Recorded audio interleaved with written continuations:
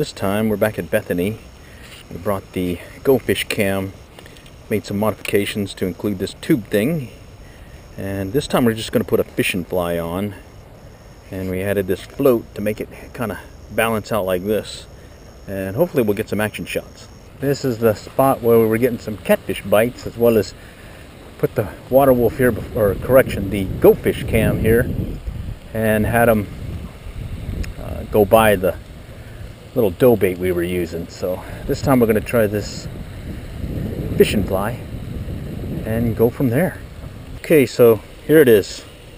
Got it rigged up and hopefully we've got a chance to get an action shot on the GoFish cam. Just kind of toss it out here.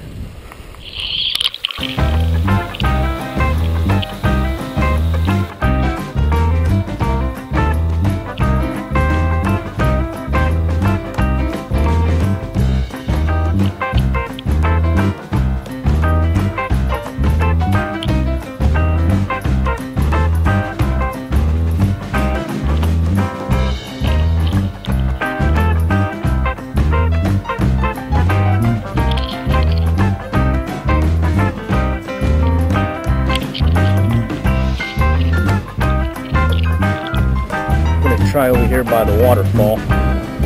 See if we can get an action shot here. The water's clearer, so hopefully we'll get some better shots.